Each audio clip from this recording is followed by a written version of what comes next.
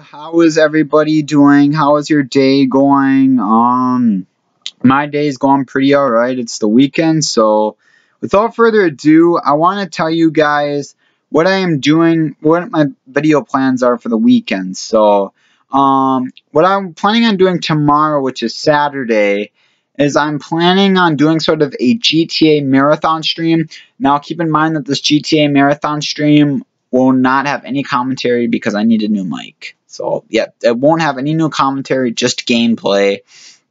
Full screen gameplay, uh, probably like 720p or something like that. And as well, um, I will be doing a simulation video on Madden 17 for the Super Bowl.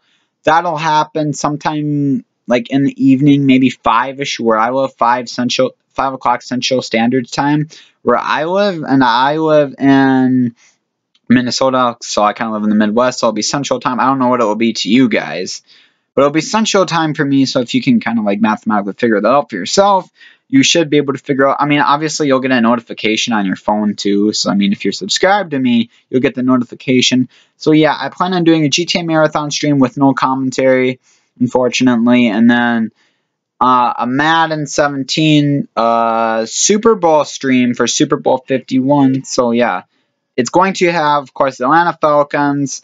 Um, the I'm gonna have all the time and everything accurate, 15 minutes. So it's gonna be a long stream because you know I'm gonna be setting it for 15 minute quarters. Uh, you know all that jazz. So I hope you guys come on and watch the stream on Sunday. Again, it'll be Sunday night. I don't know when exactly I'll plan on doing. Maybe five ish, seven o'clock ish. I was thinking of having it the same time the, as the Pro Bowl, which is about eight o'clock.